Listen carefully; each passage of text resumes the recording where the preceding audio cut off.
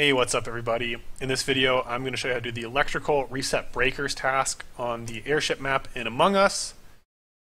This task is actually pretty straightforward. Make your way to the electrical room, and these these right here are breakers, and you have to reset seven breakers, and you have to reset them in the order. So if you go up to it, and you see here there's number four, this is the fourth breaker that I need to do. So because I haven't done breakers one through three, uh, this is nothing's going to happen. So until I go in order from 1, 2, 3, 4, 5, 6, 7, uh, I'm not going to make any progress on my task. So I know breaker 1's here, so I see the number 1 here, and I pull it down. It's 1 of 7. This is number 4, so if I pull it down, nothing happens. But fortunately, I don't have to restart. So I know where 2 is. I know where 3 is. I know where 4 is. I believe this is 5. No, that's 6, so I can't go there.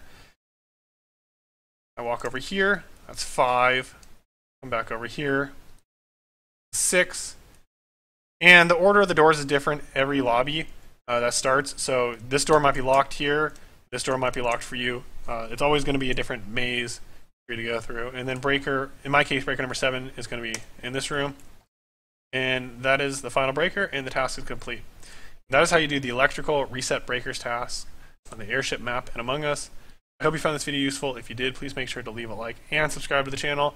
I plan to make more videos like this in the future. Feel free to suggest some tasks you'd like me to show you in the comment section. And I hope you enjoy this video, and I hope to see you all in my future videos.